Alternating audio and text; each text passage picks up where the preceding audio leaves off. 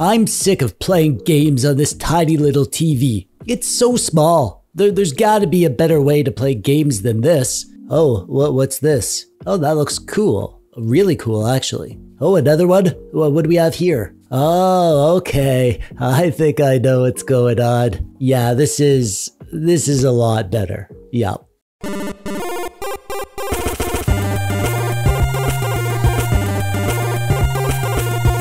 Hello there, I'm TechDweeb, welcome. Thanks for clicking on the video today. Uh, about a month ago, I made this video where I tested out a projector sent to me by this company, Yaber. I did weird things with it. You ever seen the Steam Deck being played while it was projected on the side of a bard? What about a kitchen cabinet? What about a toilet? It was just a kind of fun, goofy video, but I was genuinely impressed at the projector itself, and I've actually used it a lot since then. Anyways, Yaber has a new projector. That one in my last video was a sort of entry level model, but this new one is supposed to be a freaking badass. It's it's brand new, just came out. Apparently, they really liked my last video, and they were really enthusiastic about sending this, and they had lots of good stuff to say about it. So we'll, we'll see if it's as good as they hope it is. But that's not all.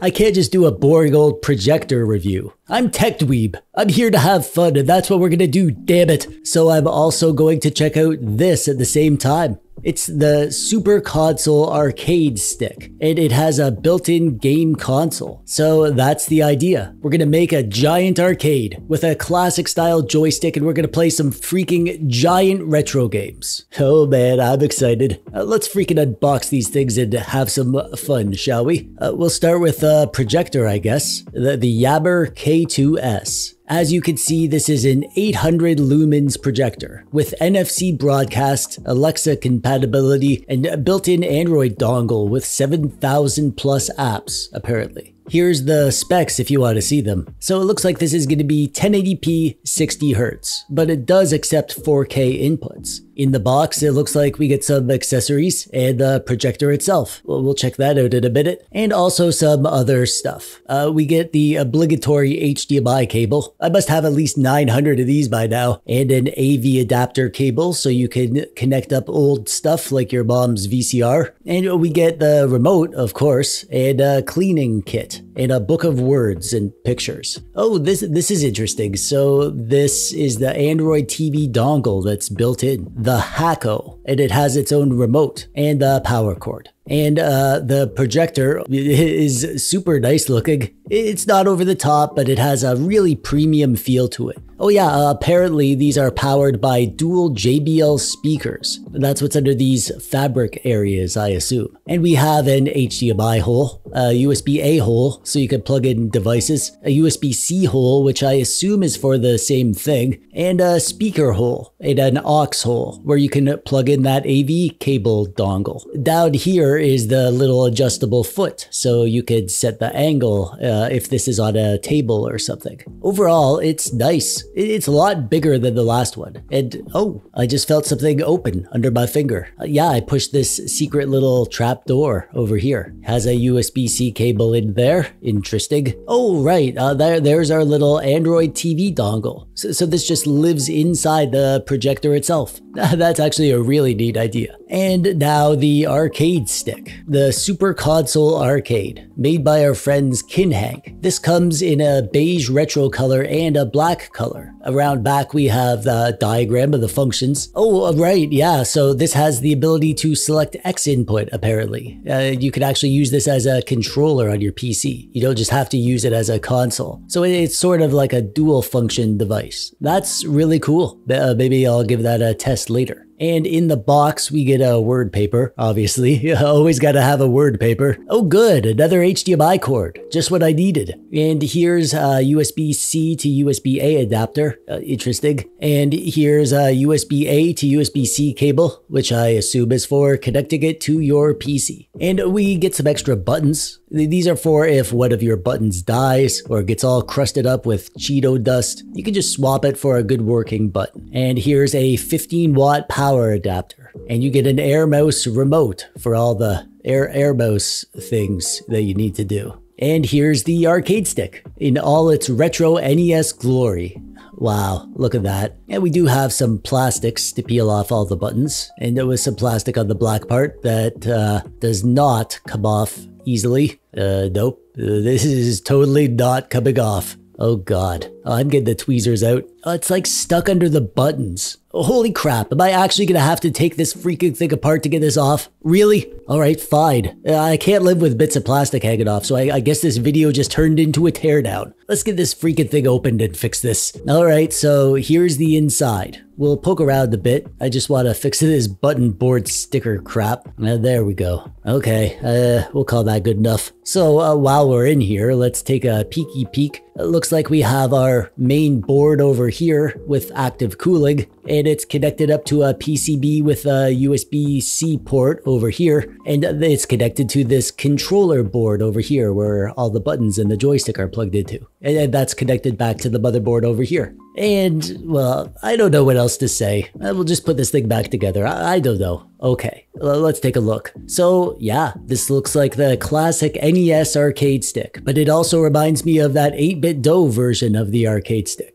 This one has a game console inside though, obviously. Uh, the quality is okay. It feels as you'd expect for a lower priced arcade stick. Maybe a, li- a little bit above average actually. It looks amazing. I love the retro vibe. They really nailed the look and feel, even down to the fine details like the system buttons. And we have all the I.O. that we could want, a USB-C hole for connecting to the PC, and an HDMI hole, and a USB-A hole to shove your dongle, and an Ethernet hole, and a speaker hole, and a power hole. And that's all the stuff. So let's move on to the main event. Let me introduce you to the, the living room in my mom's basement. You can tell it's my mom's basement because of this ugly carpet. Oh god, I hate this carpet so much. I don't spend much time down here, and not just because of the carpet. My bedroom and computer room is like 10 times cooler than this boring living room. I do have an old TV here that I had my uh, old Xbox 360 connected to. But what I'm thinking is, this wall right here. I'm thinking that if this little experiment works out, I could put up a proper projector screen here and be able to play my games on a freaking wall-sized display with this projector. Uh, we'll see. This is just a little test run of the concept today. Sorry, Kirby, you gotta go. That's a pretty big wall. I hope the, the display could fill it up. This giant bright window might be a problem though, but we actually have a curtain on there that does a pretty good job of blocking the light. All right, so here is where the projector is gonna go. Uh, temporarily, of course. This, if this experiment works out, I'll, I'll get a cabinet or something for this area to hold the projector and maybe a spot to stand at the arcade stick and crush some arcade games whenever I'm feeling spicy.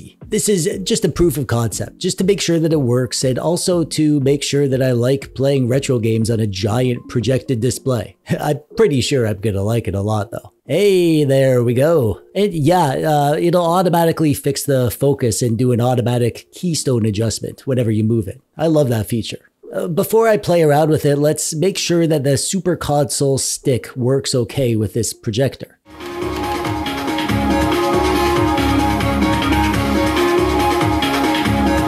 Holy crap. Oh, those speakers.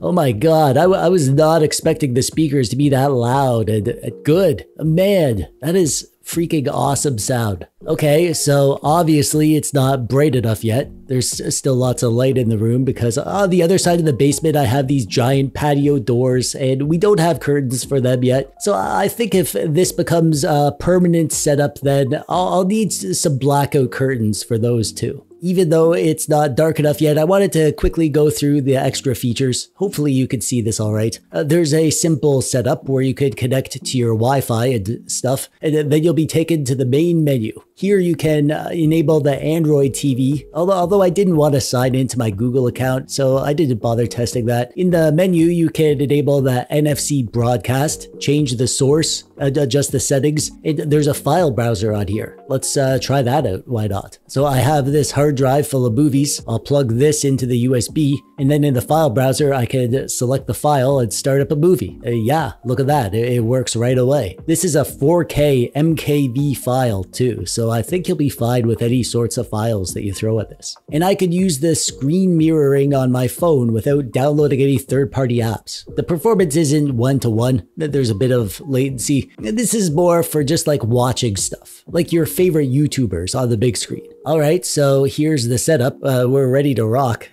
uh, now we just need to wait for the darkness. Holy crap, you guys. This is awesome.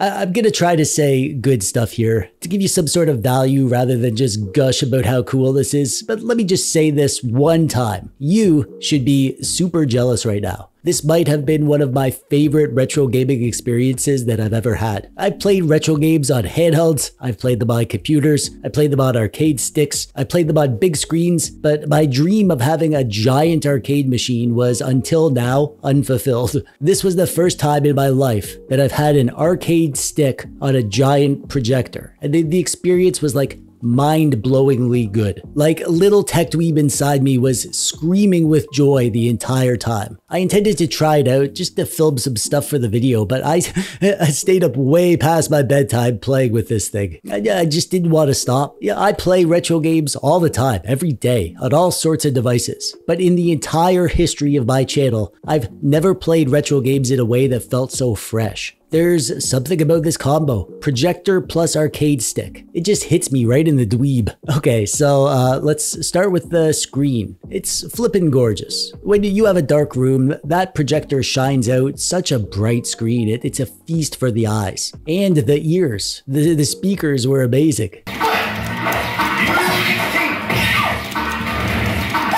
I, I knew they'd be better than average. The, the company talks about the JBL speakers in their marketing, but I wasn't expecting to be amazed at the sound. But when you get that audio pumping, along with the bright and beautiful screen so big it fills your vision, it's like the most immersive way to play a retro game. I think the image quality would be uh, a bit better if I had like a proper projector screen. My, my walls aren't perfectly white, they're sort of off-white, so obviously the image isn't as bright as it would be if I had a proper screen. I, I just wanted to do this test to see if I liked it and if it would be worth it. And, and another reason I was having so much fun is the stick. And to be honest, it's probably the reason reason I didn't want to stop playing. I love playing retro games on sticks. It's the reason I built my arcade cabinet. Playing retro games on a stick makes the, the games feel like a totally different thing compared to playing with a controller or a retro handheld. With their tiny little buttons and D-pads, the arcade stick is a more immersive experience because you actually have to move your whole arms to do stuff. Moving your character and jumping and punching isn't just slightly shifting your thumb. You really have to be intentional about it, and that's why arcade games suck you in. The Kinhank stick is really good. After using it for a night, I can say it's better quality than my own arcade machine hardware. The game console part of the stick is a very standard super console experience, which means that um, everything will be mostly configured fine. Although, like every Kinhank product, you'll find that there are some annoying things that you'll want to adjust yourself. And of course, we have some messy ROM sets with a bunch of duplicate versions of some games for different regions and betas and stuff. That said, I was quite impressed at their performance. It's cool that we can play so much really awesome looking stuff on a cheap console like this. The usual suspects aren't gonna run great. Cruis'n USA on Nintendo 64 is stuttery and don't expect to play every PSP or Dreamcast game. But if you want everything up to PS1 to run without issue, along with a ton of Sega Saturn, Nintendo DS, most Nintendo 64 and PSP and Dreamcast, then something like this is gonna serve you very well. Of course, you can plug in extra controllers and use it as a home console. You don't have to play it arcade stick style. If you have friends over, just plug in whatever controllers you have or use Bluetooth controllers. You can totally enjoy multiplayer stuff on here. As for the gaming experience, oh man, where to start? Gaming on a giant screen is a whole different situation from gaming on a retro handheld or even a TV. You're not going to want to play an RPG on a setup like this, for instance. Actually, you know what? Maybe you would now that I think about it. I played through Final Fantasy Legend 3 for the Game Boy on my arcade cabinet, and I had a great time. But I'm a weirdo. I think if you're standing at an arcade stick, you, you've got to be playing action games. And if you're on a giant display, you're going to want to be playing games with lots of stuff to look at. Racing games are the first thing that I think of when I'm on a giant display. There's something about seeing this screen so huge that it fills your vision that really makes driving a fast car feel exciting. Even for retro racers, especially actually. I, love me some old school retro racing, and until you've tried it on a giant display, you're not getting the full experience. Another style of game that feels amazing on a giant display is beat 'em ups. Not only are they bright and colorful with lots of action, there's also lots of eye candy all the different characters with their different animations and the backgrounds usually have a bunch of like small details that you can really appreciate on the big screen. And we gotta talk about fighting games, of course. These games were made to be played on an arcade stick. I'm no fighting game pro. I kinda suck, but I don't care because I love playing these games. I don't care if I'm garbage because you know what? I sucked when I was a kid, and I still spent all the birthday money my grandma gave me playing Street Fighter and Time Killers. Uh, the, the fighting games control amazing on this stick. I can pull off all my special moves without issue. And you guys know that I love shoot 'em ups, so I had to get some of those happening. It's a shame that so many great shmups are vertical format because it really doesn't take advantage of the big, beautiful wide screen that we have to work with. Still, shmups have a lot of things happening on the screen, a lot of tiny little moving objects, and you need to be able to track them to play properly. And in this respect, playing on a giant screen offers a significant gameplay advantage because you can just see everything so big and clear. I also really loved playing some of the better looking 3D stuff that this thing can run. Obviously, if I set this up permanently, I'll have like a, a, gaming PC hooked up to it and be able to play PC games on the giant screen. But even the simpler stuff the Super Console could run, it felt impressive. This thing can upscale most PSP games to 2x resolution at least. That's not crazy high res, but for games with lots of motion, it, it still looks great. And for systems like PS1, in lots of games you can upscale right up to 1080p if you're into that sort of thing. Although for lots of the retro 3D systems, including PS1 and Sega Saturn, I actually prefer to run the games at their native resolution. I like seeing those chunky pixels uh, the way that they looked when I was a little dweeb. Uh, uh, well, uh, this video has gone on a lot longer than I expected, so I, I gotta cut it off there. Man, I, I could just blab on and on about these games for days. Uh, thanks for listening and sticking around to the end. If you would like to pick up your own Yaber K2S projector or the Super Console arcade stick, I'll have some links in the description below. This video, like all my videos, is brought to you by the patrons of TechDweeb who help make what I do possible. If you'd like to become a patron and support this nonsense, there's a link in the description below. And that's it from me. I'm TechDweeb. Thanks for watching. Bye bye.